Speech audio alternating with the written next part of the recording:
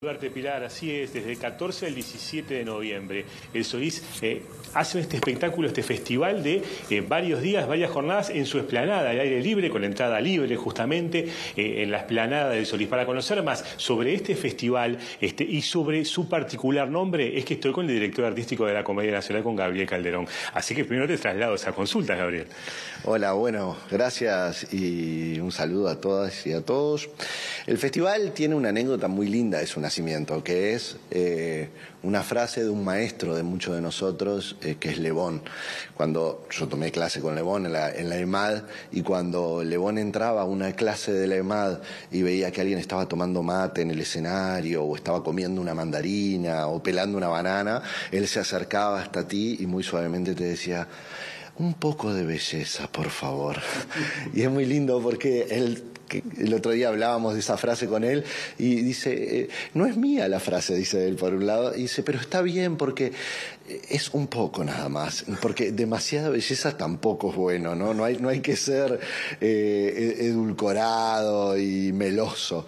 Entonces, me parece que siempre el arte está en ese combate de defender un poco de belleza en todos lados. Eh, Gromowicz, que era un autor polaco muy importante, tiene un texto hermoso que se llama Contra los Poetas y dice una cosa muy, muy linda en, ese texto, él es un poeta, ¿no? Dice, yo amo la poesía, a todo en mi vida le pondría poesía le, dice, pero eh, soy incapaz de escuchar a los poetas leer poesía mucho rato. Dice, es como el azúcar, lo quiero en todos lados, pero soy incapaz de comerla a borbotones.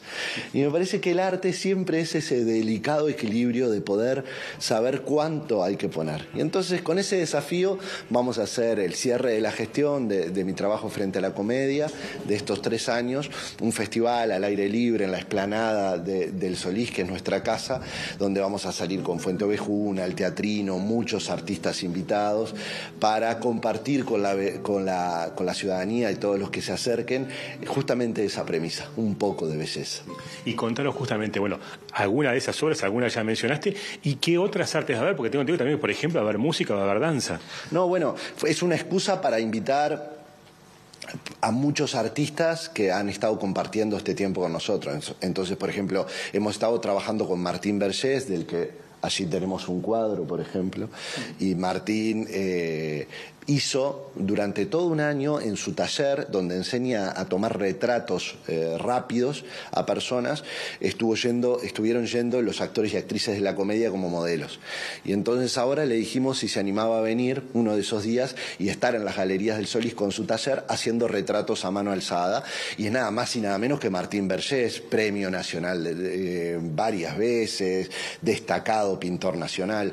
Eh, la misma excusa se la llevamos a la TUD, ¿no? a la técnica Universitaria de Dramaturgia con la que trabajamos en Macondo y le dijimos, volvemos a conseguir máquinas de escribir, ¿se, animan a escribir eh, escenas de belleza con la gente que se siente ahí con ustedes? Dijeron que sí y vamos a estar haciendo eso. Vamos a invitar, tenemos en un espectáculo de fin de año a Luciano Superbiel y a Mateo Tonelo que van a estar musicalizando una pieza que hacemos con la Compañía Nacional de Teatro Clásico y le dijimos, ¿no se animan a venir un mes antes y hacer un contrapunto contra, la contra o a favor de la belleza en la esplanada? Y dijeron que sí. Vamos a, invitamos a Darío Stans Reisberg, que va a venir a dar unas escenas sobre la belleza en la filosofía.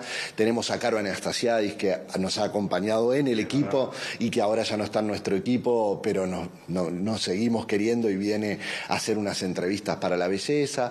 Y después tenemos Andrea Arobas, que viene a hacer una pieza de cinco minutos, Malena Muyala, que es la directora de nuestro teatro y que le pedimos que haga un homenaje a la belleza, iba a cantar y tocar un tema, Martín García, que es el director de la orquesta, se me empiezan a escapar, ¿no? Santiago Balta, Papina, varios que los hemos visto en nuestros escenarios con nosotros o en nuestra platea acompañándonos muchas veces, que les decimos celebremos durante cuatro días de manera, digamos, comunitaria este delicado equilibrio armónico de la belleza en la ciudad.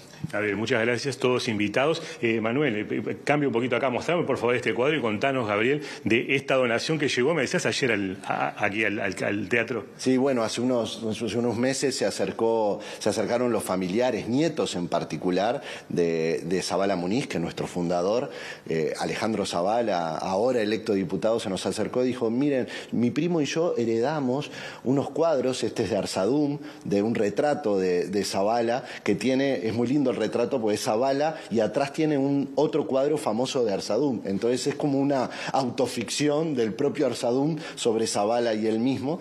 Y nada, lo donó para la Comedia Nacional y para el CIDAE, nuestro centro y archivo del Teatro Solís, que lo va ahora a catalogar y a, y a empezar a recuperar. Y también un cuadro, un busto que está allá de Michelena, del propio Zavala. Y bueno, también esto es, es, expresa un poco esta pared todo lo que hemos hecho. Acá está Santana, tenemos estos cuadros, los afiches antes de la Comedia Nacional eran hechos a mano, con pintura, ¿no?